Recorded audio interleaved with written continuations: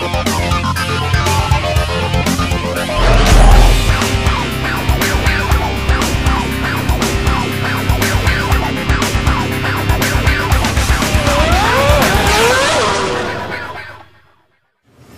we are in the Spyker model shop attached to the wind tunnel. Uh, before me is a, a, a 50% scale model of a Formula One car and it is absolutely perfect replica to scale of the car that is on the track.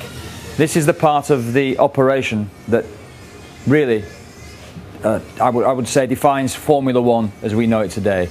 The downforce, the physics, the aerodynamics involved in keeping a car on the deck as it goes around corners at inordinate speeds is what this sport has become to be about. With me is Simon Phillips, the head of aerodynamics Hello. at Spyker.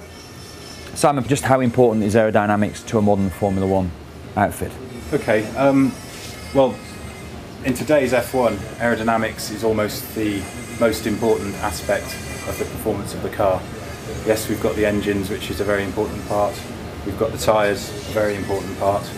Um, but without the level of aerodynamic performance that we have on today's F1 cars, they would be any other formula of race car. Yes. And this model helps you project exactly what's going to, how the car is going to behave on the track.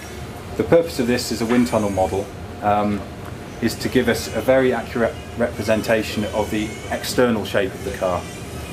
Because we are in the wind tunnel looking for absolute fractions of a second mm. at each step. I mean, we're literally looking for component changes on the car which will make a one hundredth mm. of a hmm. second difference. it's those lots of one hundredths of a second that will finally make your add time. up to a, yeah, yeah. An increment in lap time. Uh, the wind tunnel itself, this is like an industrial operation. It runs in, in, optimum setting when, when it's up and running properly in the next couple of weeks. We'll be running 24 hours, seven days a week. How many people does that take to man? Um, it is. I mean, it's a very large-scale operation. Um, it's this facility itself is a very self-contained facility that looks after just the aerodynamic development of the car. So, in order to support that, we have um, the aerodynamicists, the wind tunnel test engineers, but then we've got the model designers, the mechanical designers, we've got the model shop um, model makers, we've got pattern makers in the pattern shop all geared towards producing a steady stream of components mm. that we can test. So how many number is that, Simon, would you um, say? It's approximately about 50 people in total right. here. And we're, the, we're, kind of at the frontiers of, of, physics here, aren't we? You know, this is, this is frontier stuff to a degree. Um, it is. I mean, to an outsider, yeah. watching an F1 car go around a corner mm. seems to defy the laws of physics yeah, because yeah. it it seems to mm. stick to the corner hmm. in a way that hmm. you wouldn't think was possible. Um, and although you may think it's pushing the laws of physics, it's actually using the laws of mm. physics to actually. It's appropriating them. Yes. Yeah. Yes. An interesting thing, I think, for, for neutral observers who don't understand the science of these things, the wings, when you see a Grand Prix car for the first time, you think they're delicate things at the front and at the back, but in actual fact, the beasts, they're rock solid. They're made of the lightweight materials, carbon fibre, yeah. but they're, they're meant to hold an awful lot of loading. Indeed. What um, is the loading on, on, on the wings at maximum setting? At the end of a very fast straight, say Barcelona, mm. um, when the car's reached its top yeah. speed, the forces on the um, front wing, for example, would be three quarters of a ton. Appearance level, you think that you might be able to snap it if you if, if you leant on it, but certainly not if you um, if, if, you leant on it, it would yeah. it would stay there. Yeah. Um, obviously, there are incidences on the track when front wings, rear wings yeah, do yeah, come yeah, off, but those are very high impact accidents in mm. reality, even mm. though on TV they look very light. This is the seven post room. What is that, you ask? Well, this houses a rig with seven posts, funnily enough, and this incredible piece of machinery allows the engineers to simulate what happens to a car on the track.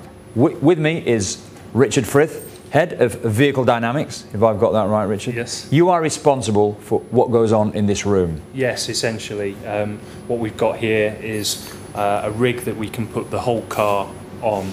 Um, and we can look in detail at any particular problems uh, that we may have at the track or design related problems um, that we, look, we want to analyse in more depth essentially.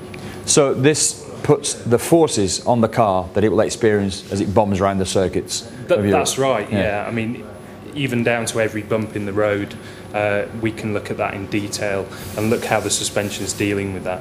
So for the different circuits, the car is configured differently. Do you do uh, remedial stuff uh, looking back, or do you can you plot ahead and think, well, hold on a minute, we're going to Turkey next week. It's it's tough there. It's it's a mixture of both, really.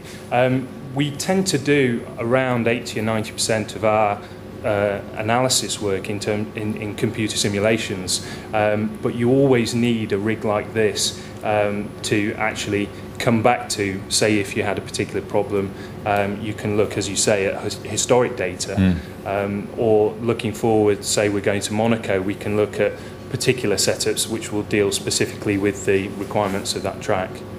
Now this is obviously Formula One specific.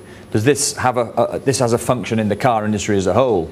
I would have thought, but not to this um, intimate degree. Yeah, I mean it's it, it's a similar piece of kit to, to what you would tend to find at major automotive manufacturers. The difference comes in the way that we use it.